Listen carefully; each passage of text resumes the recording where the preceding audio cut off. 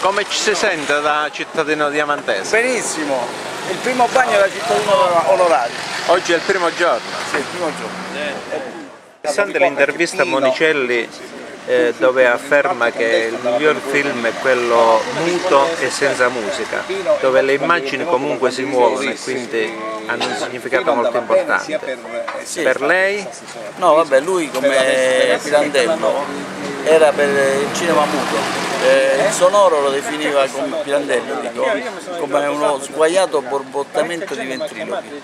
E quindi, ma molti, anche Monavi era per il cinema. Quindi le parole comunque fanno cambiare quello che è... Secondo loro sì, però per esempio per Ferrara, con Ferrara l'altro giorno quando facevamo l'intervista, non so se ti ricordi, al Ferretti dice esattamente il contrario, cioè dice che il sonoro è essenziale per il cinema.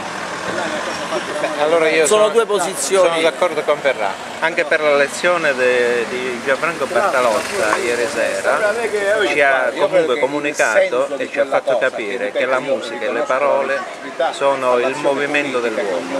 Sì. Nelle parole ci deve essere sempre la musica, altrimenti non c'è ritmo, non c'è armonia. Orsino nella dodicesima notte di Shakespeare, la musica è il nutrimento dell'amore. Shylock nel Mercante di Venezia, che poi è un personaggio discutibile, dice una cosa interessante, che è quello guardarsi dalle persone a cui non piace la musica. Quindi possiamo concludere con questa battuta. Grazie. Grazie.